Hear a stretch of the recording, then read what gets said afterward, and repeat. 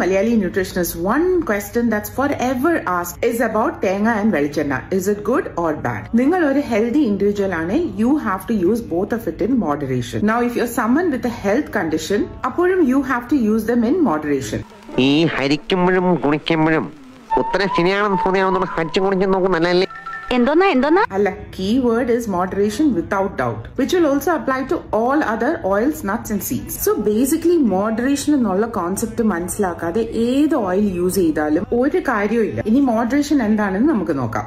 ഒരാൾക്ക് fifteen to thirty M L or one to two tablespoon which is equal to three to six teaspoons of coconut oil അപ്പോൾ നാല് പേരുള്ള ഒരു family ആണെങ്കിൽ this will come to about sixty to one twenty M L oil പിന്നെ തേങ്ങയുടെ കാര്യത്തിൽ for daily cooking use one handful or measuring cups that holds one by three or one by four amounts of coconut instead of using for example half തേങ്ങ or full തേങ്ങ. ഇല്ലല്ല wait തീർന്നില്ല.